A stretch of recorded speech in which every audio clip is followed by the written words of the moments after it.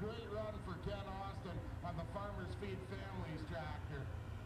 On the east track,